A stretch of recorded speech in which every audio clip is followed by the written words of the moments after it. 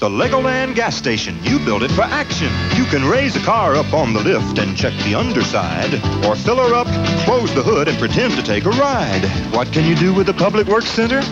You can build a crane and watch it drop some bricks into a bin, or lift the door, roll out the truck, and let the bricks fall in. The action's up to you.